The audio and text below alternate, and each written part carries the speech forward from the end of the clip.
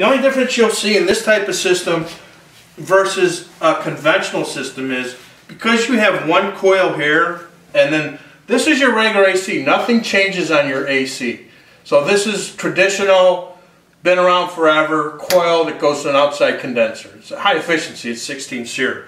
But because you have an extra coil in place, the static pressure uh, is a little higher. So you're gonna, the, the blower motor runs at a little bit higher speed because it's got to overcome this coil and this other coil. So it runs at about 1600 CFMs, which is not bad. If you're doing geothermal, you're probably running around 20, 2200 CFMs and you're getting a lot lower temperatures uh, and it's got to run constantly. So as far as this goes, there's no clicking, there's no real parts other than the fan. Other than that, it's relatively really quiet as far as operation. It's just the fan going. You don't hear clicking, you don't hear burners firing.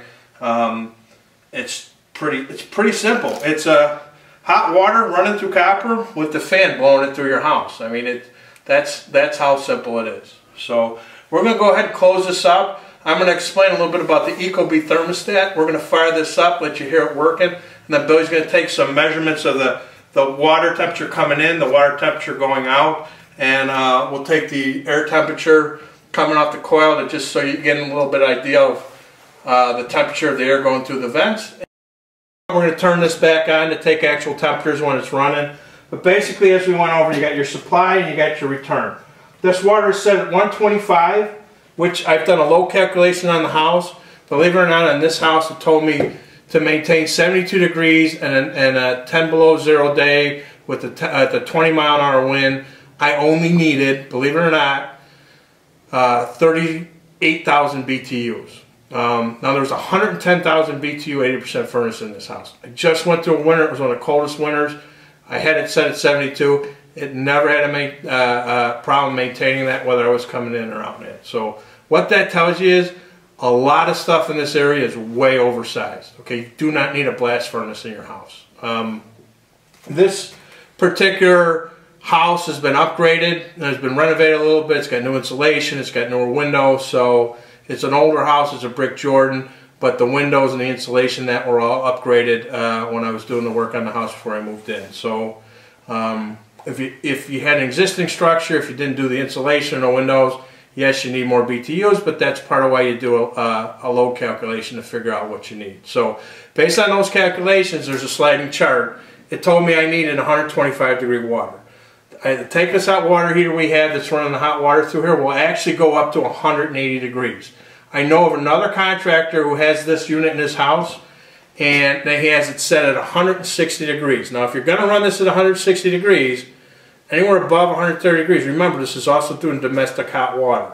So if, if you figure that your water temperature through here has to be above 130, you need to put a uh, uh, you need to have a plumber put a mixing valve on your domestic hot water side so you know you aren't scalding yourself when you uh, you know turn on the hot water to wash the dish. So this particular one is 125.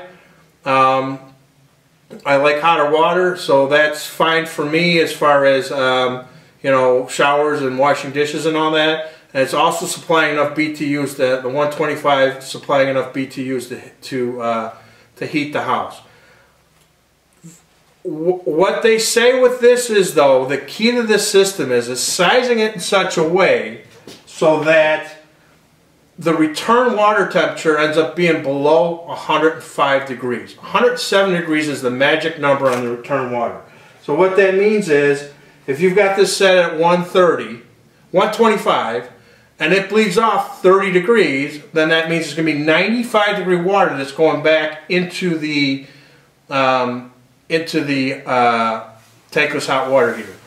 The key to that is, is that's a condensing house, a hot water heater. If the water returning and the water that's being fed through there is above 107 degrees, it's not going to condense. It's going to heat your house fine. It's going to heat your water fine. And basically, though, it's just an 80%, uh, you know, 80 to 86% uh, efficient hot water tank. So